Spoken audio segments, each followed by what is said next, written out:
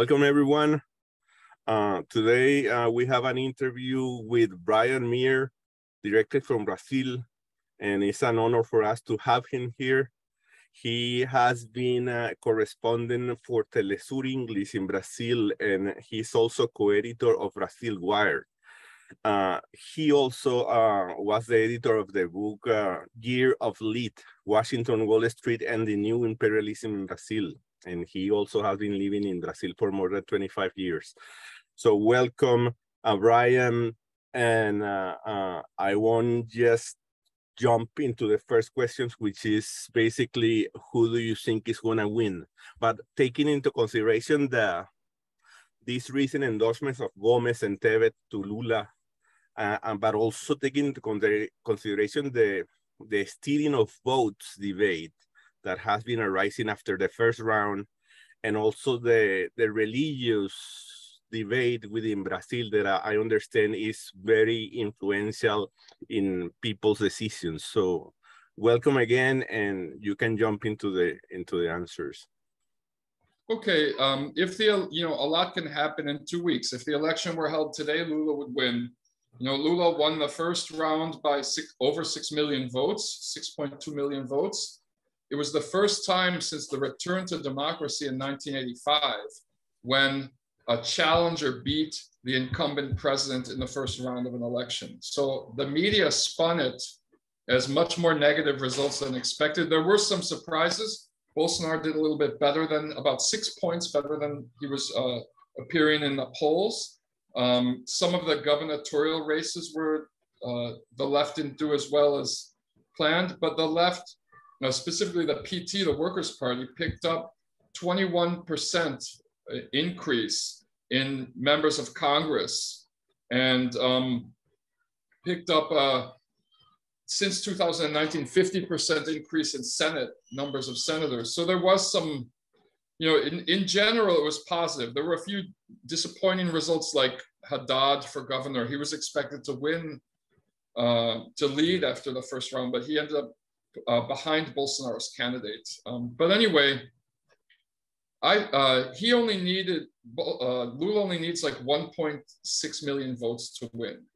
Simone Tebet, who came in third place, she had about 5 million votes total. Right? She's not just endorsing Lula, she's campaigning with him. She's going to campaign events. She's very enthusiastically supporting Lula. So, just from her votes, even if Lula got half of her votes, it would be enough to win in the second round. Okay. Ciro Gomes, unless there's a major change in the number of abstentions or something like that, right?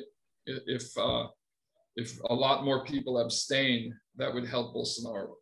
Uh, Ciro Gomes has been more negative than positive. In fact, one of the explanations for uh, the surge in votes for Bolsonaro at the last minute is that Ciro Gomes's support he was polling at like seven or eight percent, and he ended up with three percent of the votes.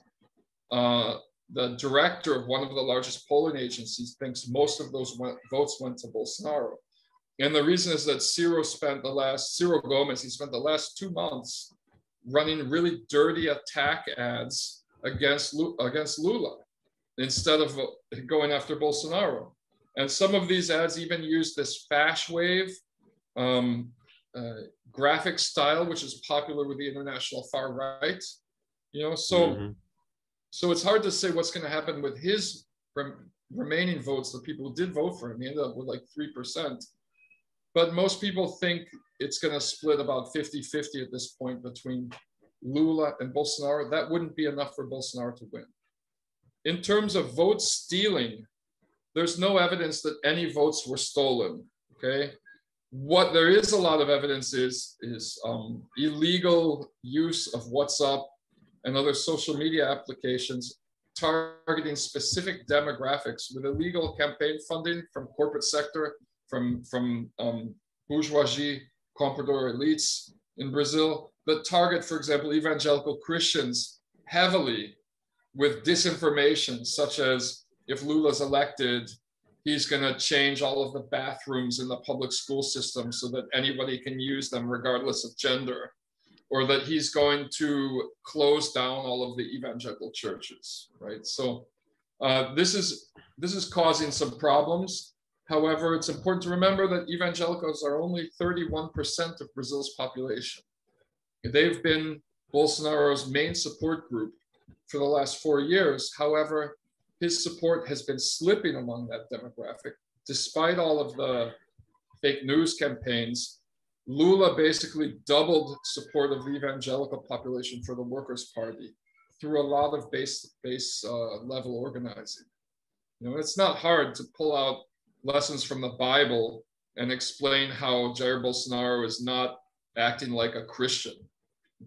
Yes, yes, yes. Uh, it's good that you you clarify that to me because I was wor worried about the the whole, uh, uh, especially the, the the voting stealing scene that has been coming up in recent days, especially after the, the first run, of course. So it's good to know that that there was no real concern on that particular issue. So, so the, the, the military issued a report. Bolsonaro created a special military commission with the intention that they would prove that there was some vote stealing going on because Bolsonaro is pushing this narrative that this, the electronic voting system is susceptible, susceptible to fraud, okay. uh, which it's never been connected with any kind of fraud um, proven, you know. And even his own com- hand-picked commission of military people was unable to prove one case of fraud. So the, the real fraud that's happening is manipulating the public opinion illegally using illegal tactics, but not the actual voting process. Let me jump now to the second question, which is connected to the balance of power.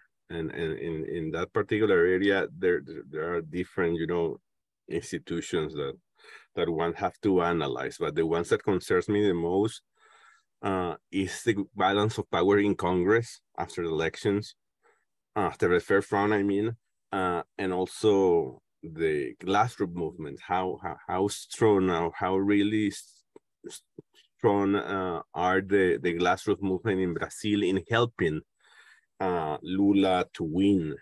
Uh, if you see a connection there. And of course, the military and the media, but everyone knows uh, how it works. But anyway, it's good to hear it from someone from Brazil. Okay, well, uh, in terms of grassroots mobilization, um, Lula has been putting hundreds of thousands of people on the streets in city after city. He was in Salvador um, the day before yesterday, over 150,000 people on the street behind them. And this is due a lot to the base of the Workers' Party, which is uh, labor unions and social movements. So, the, for example, the Landless Rural Workers' Party, the MST, is the largest social movement in the Americas, working the largest working class social movement, and they have been on the streets. So you know, for the first time in, in its history, the Landless Rural Workers Movement, or MST, they fielded 15 candidates for state and federal Congress. They've never been able to, they've never tried. There've been a few incidents in the last 40 years when they've fielded one or another candidate. It's always been hard to mobilize the vote in rural areas, right? Mm-hmm. This time, they managed to put six MST members into federal and state Congress which is a historic first. Um, and they're going to be, you know, all of those apparatus are, are canvassing for Lula right now, working for Lula. All of the vote, um, you know, all of the political organizing operations that they set up for their candidates. So, in, in um, comparison, sorry to interrupt you, Brian. In comparison with those movements, uh, I mean, the, the PT machinery and the MST, the MST, uh, do Bolsonaro has a counter response in, in social movements that support him? Well, if you look at the crowds on the streets, um, he's not able to put many people on the street. Okay, okay. like that, you see some images of him in front of these huge crowds. Mm-hmm. These are large religious events that would have happened anyway that he appears at. Okay. You know, so um, for example, the National March for Jesus, which is an evangelical holiday. ironically, that was declared a holiday by Lula when Lula Hmm. was president. This every year it brings hundreds of thousands of people to the streets of Sao Paulo. And so Bolsonaro appeared at that event and he's using the footage in his commercials as if that was a rally for him. His actual rallies are much smaller, but his like a lot of his support is through evangelical churches and evangelical pastors, you know. So you could say that was that that's his main support base, you know, as well as you know, military, police officers and and things like that. You know, there's no, for example, no labor unions support Bolsonaro. And listen, one- what about the, the, the, balance of power in Congress? That I read somewhere that he is not going, if Lula wins, he's not going to have it easy in that particular area. Yeah, this is, I think this analysis is based on a misunderstanding of Brazil's Congress. Um, uh, during the height of Lula's first government, the Workers' Party never had more than 25% of the seats in Congress, and they never had more than 14 senators out of 81 total members of Senate. Inclu- so, with those numbers, you add on the close allies, which is the Communist Party of Brazil, PCdoB, and um, this year it's the Green Party is joined as well, and Rede, very small parties. But um, even if you add all of the allies, even if you add PSOL, which is a traditional ally in Congress with with uh, the PT, they have a total of like a, a little over 100 members of Congress in a Congress with 514 people. The important thing is that the number of Congress members increased by 21%, back to the level that it was at during Dilma Rousseff's presidency. So it's hard to spin this as a negative, as the, the foreign press is trying to do when they actually increased seats both in the House and in Senate. Now, when Lula was president, he had to do a lot of things by executive order, by decree. And then also he had to make alliances with center-right parties in order to govern. And this led to a lot of um, criticism From the left, From- mainly. bourgeois vanguard leftists, you know, uh, in Brooklyn or something, that his government was neoliberal. When in fact, if you look, the political party, the Workers' Party, is much farther left than any Workers' Party government has ever been because of the need for these coalitions to govern. You know, unfortunately, or fortunately, however you want to look at it, Brazil has a very large middle class. You know, and if you can't um, govern the country unfortunately, just uh, for working class this in this type of capitalist system that Brazil has. You know, short of like an armed revolution or something like that, it would be impossible to govern without some of these center-right parties, which trace their roots back to the military dictatorship. There was amnesty for everyone, and they allowed all of Congress and Senate to remain in power after the end of the dictatorship. So they just created two new political parties, MDB, PMDB, and uh, and PFL. PFL's changed its name several times, but it's still the second biggest party in the Senate and Congress. It's called União Brasil now. This was the official political party of the neo-fascist military dictatorship. And the official opposition party, the MDB, is the party of Simone Tebet, who just came in third, who's now supporting Lula. So um, the, the, you know, unlike, for example, Argentina, where they put former generals, you know, they put generals in jail and things like that. They they've never really fully transitioned back from dictatorship to democracy in Brazil. You can see that, in, for example, in the behavior of the military police, who don't have to follow the rule of law in Brazil. They have their own internal court system. You know, so this is what makes the situation, you know, really complicated and easy to misinterpret. Easy for someone who living in the United States or something who's never lived under a left-wing government to just say, "Oh, uh, it's neoliberal" or something. You know, Yeah, that happened a lot with Lula during his first two terms. That's true. That's true. So, so the military is a is a is a more complex area, right? According to what you wa- you you were just saying, right? And me, what about media? Well, uh, let me get into the military really quick. Just um, Mhm. there was an internal because, as you know, like for the last year and a half, Bolsonaro's been threatening to hold an auto coup if he doesn't win the elections, right? Mm, So the Defense Department did an internal study of the military to see which branches of the military leadership would support Bolsonaro in a possible auto coup attempt. And the results were leaked to the media. And they're kind of surprising. First of all, the Navy and the Air Force would support Bolsonaro if he tries to hold a coup. Okay. But the Army would not, according to this internal study. The Army is bigger than the Navy and the Air Force combined. And the other surprising thing was that um, most state military police apparatus or leadership would not support a coup attempt by Bolsonaro.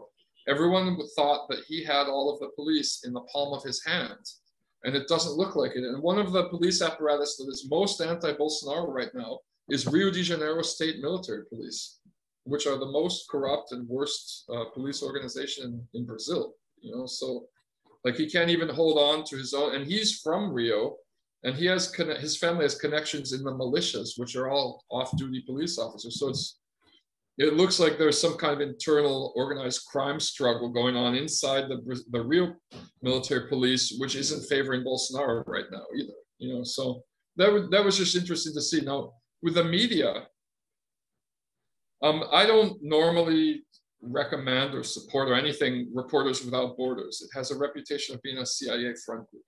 Nevertheless, they issued a report about five years ago called um, The Land of 30 Berlusconis about Brazil's media. And the report was actually, I thought, was pretty good. Basically, you have a, a small number of very powerful elite families who control all of the mainstream media in Brazil.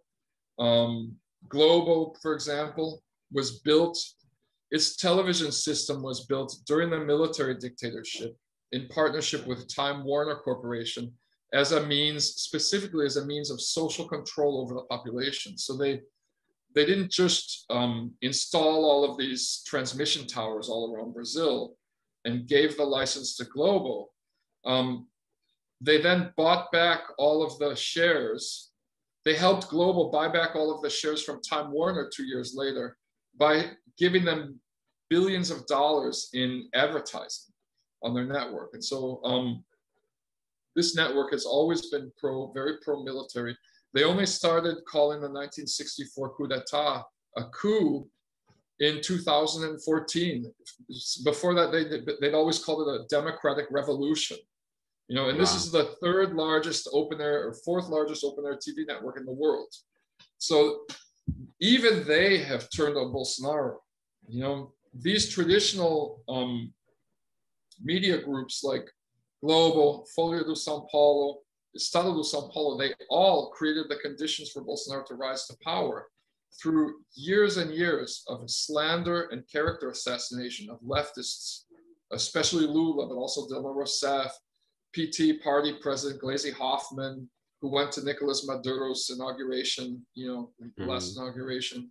Uh, people like that, they've been attacking them almost every day. And so finally, when this monster spins out of control, they their final result wasn't someone like Bolsonaro. They were they were looking for, as they say in Brazil, the kind of fascist who eats with a knife and a fork. They didn't want this out of control monster like Bolsonaro in power. So now they've backed off their support for Bolsonaro.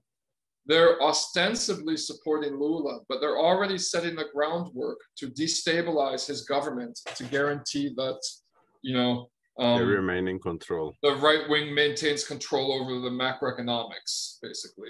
Yes, yes, yes. This is very interesting what you are saying. You're giving me another perspective of Brazil. I mean, the elections. Uh, and and let's jump to the last question. I mean, uh, it is basically connected to how international developments might impact the electoral debate in, in Brazil. Not the electoral debate, the electoral results actually, but maybe also uh, the counter analysis might help. I mean, how uh, a possible victory of Lula or Bolsonaro might impact the region, at least Latin America. Well, um, I think that uh, there's this kind of full spectrum war going on against the Latin American left, right? So you get you get people from all sides of the spectrum attacking Nicolas Maduro. You have these people attacking Nicolas Maduro from the so-called left, but you look what what's their popular connection to the left? Nothing, you know. True. The, these um, sometimes it's like Trotskyist academics from the United States, and you have the same thing happening against Lula the entire time. Now, one thing that's been taken out of context is a few comments he's made, unfortunately, about how he believes that there should be an alternance of power in Venezuela and um, Nicaragua. These comments are always taken out of context because his main point is that it, whenever he's asked about these countries is that the people of those countries should solve their own problems. It's not my position to suggest what they should or shouldn't do. My personal opinion is this.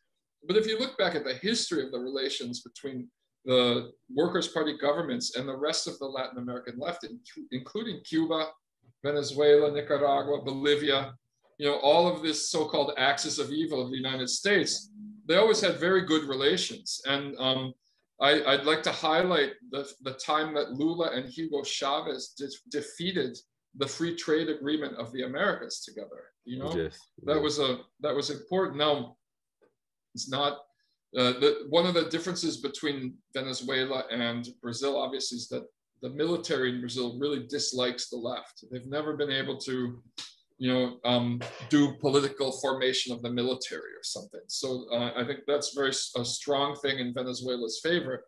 But in general, I think a Lula victory would be good for um, sovereignty of peoples in Latin America, eh, especially in South America, and um, and it would be just a move forwards for for the um, continent in general, just because it's such a big country, it has such a big economic influence on, on the rest of the in international international events impacting Brazil, do you think that that might happen? I under I know that Brazil is like a self-centered country that is sometimes it's isolated because of the, mm -hmm. yeah, the language isolates it. You know, even though we have these neighbors everywhere, most Brazilians don't understand Spanish, so it's unfortunate. But um, one thing that's interesting is that nobody in Brazil got on board with, nobody is getting on board with the new Cold War, right? If you look at Russia and China, even the Bolsonaro, it's not Bolsonaro himself, but it's people behind the scenes in the Brazilian State Department. They're refusing to give any kind of lip service to the United States on China and Russia, right? And that will continue under Lula. Lula is not, Lula never, when when Bush asked Lula to for Brazil to join the Iraq War, he said our war is against poverty in Brazil. It's, it's against hunger. We're not getting involved in other people's wars, right? And so, I think it's you know the the U.S. government has been trying to put the Bolsonaro administration against Venezuela. We know that, right? Like so, it's good. It'll be good for Venezuela if Bolsonaro's out. He's been doing joint military operations with the U.S. military in Brazil near the Venezuelan border is a kind of intimidation tactic. That will end if, if Lula's elected. I mean, he's not going to have a really far left wing government because of all of the compromises he's had to make to get the endorsement of different people in the you know bourgeois elite. But it will be geopolitically, it would be much better for Latin America in terms of sovereignty of nations to have him in power than to have someone who just he's the most um, sycophantic Brazilian leader in history to the United States, Jair Bolsonaro. He even visited CIA headquarters after he was elected, the first time a Brazilian president's ever done that. Yes, yes, it's crazy. Let's uh, let me ask you one last final question. What about the lawfare? Uh, do you think that they will retry those things while, in the case Lula wins? Those cases against Lula cannot be retried anymore. I mean, when the media said that it was thrown out on a technicality, they didn't follow through. Uh, the only reason they could call it a technicality is because the Supreme Court ruled that these, these cases had been illegally forum shopped to a sympathetic judge in a jurisdiction that didn't have any, you know, any authority to act on those charges, which detailed crimes that were committed in a different state, right? So they recommended that if, first of all, they said all of the evidence had to be discarded. There wasn't much evidence to begin with. It was just uh, a few coerced plea bargain testimonies. They had to be discarded.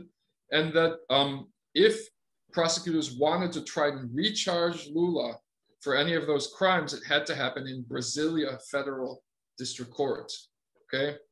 What happened is that on all of the charges, uh, pro public prosecutors attempted to re-initiate the charges in Brasilia, and in every case, they were immediately thrown out for not having any material evidence, because none of these charges ever had material evidence behind them. So, so there's no way he could be tried for any of those frivolous 26 charges that the United States Department of Justice backed Operation Car Wash team, you know, levied against Lula. That's okay. that's done with. They'd have to invent something else. But I think the people are tired of this lawfare now. You know, I don't think it. I don't think they'd be able to get anything to stick on him at this point, especially since since the first time they tried to throw out Lula with lawfare over this scandal called the Mensalão, which was equally ridiculous and without any kind of evidence as the Operation Car Wash stuff. Um, from that moment forwards, the Workers' Party has been extra special, uh, extra special, extra careful about making sure they don't do anything illegal because they know they're under like heavy, heavy scrutiny the entire time. You know, they they they have double or triple the level of scrutiny of any other political parties. So they, it's not. I mean, I'm not saying there's no corruption with any Workers' Party official, but they're much more careful about it than the other parties. You know, so that's why after years and years of investigation, the best that Operation Car Wash could come up with was one coerced plea bargain testimony of an imprisoned corrupt businessman who got millions of dollars in asset retention and 85% um, sentence reduction in exchange for reading off the script to implicate Lula. He changed his story three times before they let him out of jail. You know, that was the only that they did. They threw out Sergio Moro, who was the he presided over the ju- over the investigation and his own investigation. He said that they elect him as congressman, yeah. right? He said that yeah, they no, elect. he's a senator. Yes, yes, yes. Disgusting. That's but um, but I mean, he he rejected 100 over 100 defense witnesses of Lula's. He reject. I mean, the if you look into those cases, it's such a it's such a ridiculous travesty of justice. I don't think they they're going to try that again. They might, but I don't think it'll stick. I think the big problem is that he's going to have to put. It's going to be like 2003, 2004 all over again when he was stuck in these IMF conditionality agreements from his predecessor, and he couldn't increase funding uh, on education and health and sanitation until he paid back the IMF loans early. You know, so the first year or two, it's going to be tough because he's, you know, that's my take. It's good. It's good to know that, and it was very good to talk. If to he's you. elected, let me just say, I don't want to jinx. Of course, of course, of course. Do you do you feel that overconfidence among Lula supporters, or they are? No, they... I think people are. You know, people might have been a little bit overconfident in the first round because the media made it look like he was going to win in the first round, even though that was based on a misinterpretation of mm. polling numbers that didn't take into account the margin of error. I mean, the big poll said 50%, two point margin of error either way. So we ended up with 58.4 within the margin of error. I mean, the odds were the odds were that he wasn't going to win in the first round, and the media made it look like he was. So that caused some overconfidence. I think people are really worried now, and That's I think good. turnout among the poor and working class is going to be higher in the second round than it was in the first round. That's good to know exactly. That will help mobilization of people if if, if they you know get rid of that overconfidence. Thank you, Ryan. I really enjoyed talking to you finally. Mm-hmm. And, and un abrazo from Caracas. Please be safe. A lot of respect for your work. You guys too. I like, I'm a fan of.